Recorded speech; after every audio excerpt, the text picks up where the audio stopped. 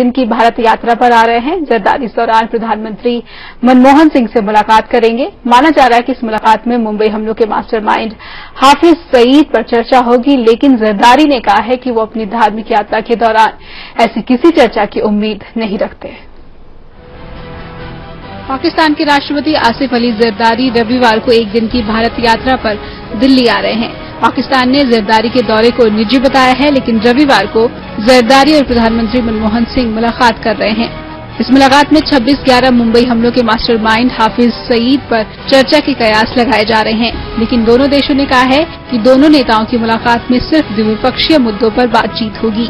पाक राष्ट्रपति जरदारी भी शनिवार को लाहौर में कह चुके हैं कि वो मनमोहन सिंह के साथ मुलाकात में सईद पर चर्चा की उम्मीद नहीं करते और उनका भारत दौरा धार्मिक मकसद से है। लेकिन इधर देश में केंद्रीय मंत्री फारूक अब्दुल्ला ने कहा है कि अगर पड़ोसी देश बेहतर रिश्ते की उम्मीद रखता है तो उसे हाफिज सईद के खिलाफ कार्रवाई ज़रूर करनी चाहिए। जहाँ तक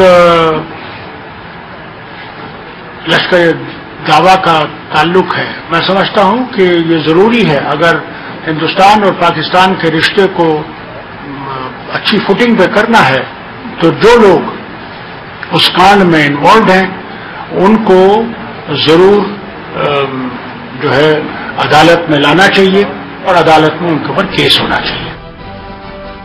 पाकिस्तानी आतंकी संगठन जमात दावा के मुखिया हाफिज सईद को अमेरिका ने अपनी मोस्ट वांटेड लिस्ट में दूसरे नंबर पर रखा है और इसकी जानकारी देने वाले को 50 करोड़ रुपए का इनाम देने का ऐलान किया है।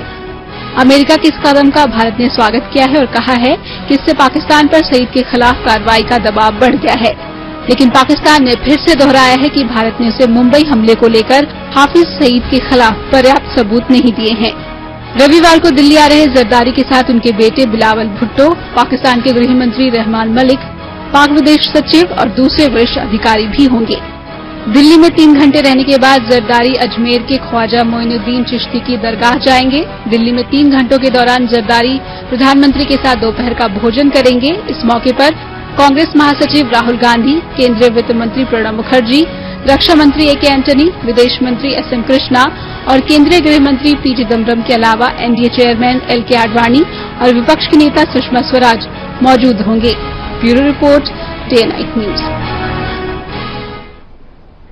और उधर दूसरी ओर जरदारी के भारत दौरे पर जम्मू कश्मीर के मुख्यमंत्री उमर अब्दुल्ला ने कहा है कि भारत और पाकिस्तान को एक दूसरे के साथ मिलकर हर समस्या का समाधान निकालना होगा। दोनों देशों के बीच व्यापार के मुद्दे पर उन्होंने उम्मीद जताई कि जरदारी के इस दौरे से सरहद पार व्यापार को बढ़ावा मिलेगा।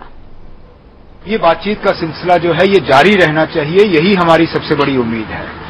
और एक अच्छे माहौल में बातचीत हो, कुछ जो ऑनगोइंग इश्यूज़ हैं उनको थोड़ा आगे ले लिया जाए।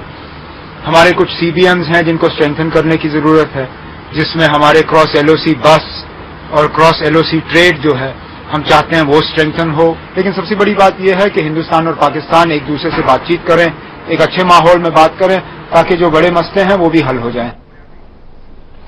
गुलाम नबी फई को अमेरिका की एक अदालत द्वारा दो साल की सजा सुनाए जाने के विरोध में आज अलगावादी नेता सैयद अली शाह गिलानी ने कश्मीर बंद का ऐलान किया।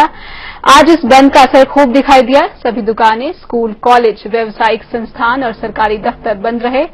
बंद के दौरान किसी तरह की हिंसा को रोकने के लिए बड़ी तादाद में पुलिस और सीआरपीएफ के जवान तैनात किए गए थे। अमेरिका की एक अदालत ने गुलाम नबी फई को दो साल की कैद की सजा सुनाई है। फई को कश्मीर पर अमेरिका की नीति को अवैध तरीके से प्रभावित करने का दोषी पाया गया है।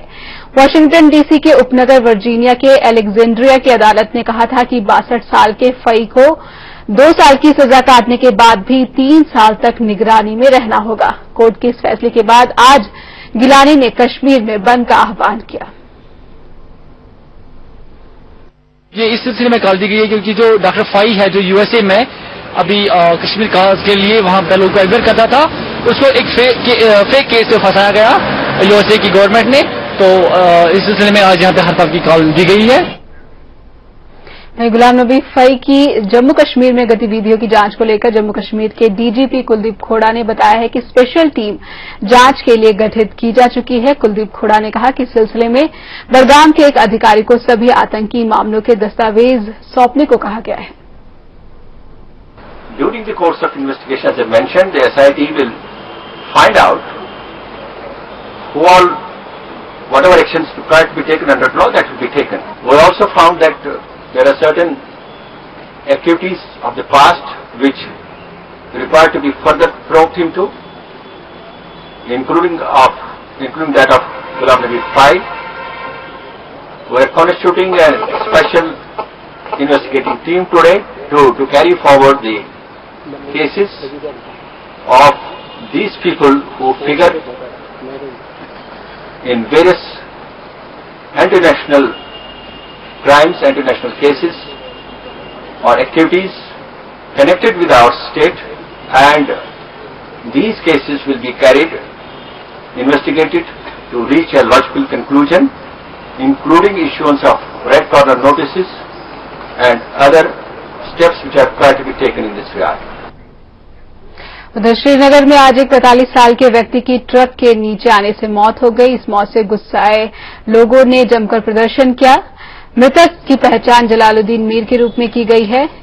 जलालुद्दीन मीर के मौत के बाद गुस्साई भीड़ ने ट्रक को आग लगा दी। मौके पर पहुंचकर दमकल की गाड़ियों ने आग बुझाने का प्रयास किया, लेकिन गुस्साई भीड़ ने दमकल विभाग के लोगों को आग बुझाने की कोशिश नाकाम कर दी।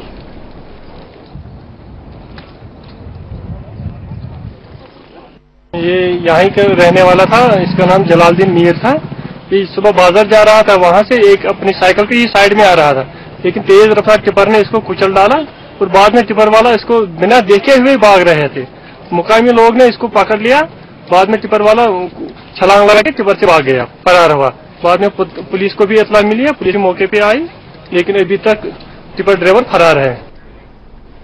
रुक करते हिमाचल प्रदेश का, जहाँ आज स्वाइन फ्लू से पीड़ित एक 55 साल की महिला की मौत हो गई। राज्य में स्वाइन फ्लू से हुई मौत का यह पहला मामला है। मंडी की रहने वाली इस महिला का इलाज शिमला के इंदिरा गांधी मेडिकल कॉलेज में चल रहा था। मंडी में स्वाइन फ्लू का पहला मामला सामने आने के बाद डॉक्टरों की एक टीम स्वाइन फ्लू से जुड़े नमूने इकट्ठा करने मंडी रवाना हो गई थी। इस महिला की मौत को गंभीरता से लेते हुए राज्य में बुखार और कफ की बीमारी से पीड़ित सभी मरीजों के स्वाइन फ्लू टेस्ट किए जा रहे हैं।